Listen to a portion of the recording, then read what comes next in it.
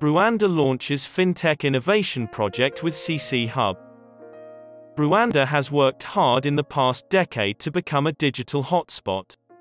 If you're looking for serious investors and entrepreneurs, you'll find them in this little market.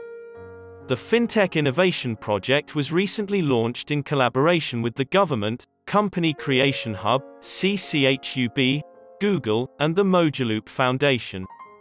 As part of the effort, CCHUB in Nigeria will provide incubation for early-stage fintechs and entrepreneurs. In the course of the year, there will be two cohorts of 15 businesses, with each receiving a $10,000 award. There is an application process for entrepreneurs interested in applying here. The application deadline is this coming Tuesday, February 22, 2022 at 11:59 p.m. Eastern Time.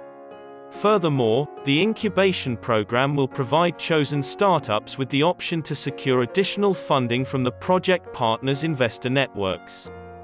A drone delivery service called Zipline is perhaps the most well-known business to come out of Rwanda in the last several years. Using drones to distribute blood garnered news for the California-based startup. It is now worth over $1 billion and has entered retail and e-commerce.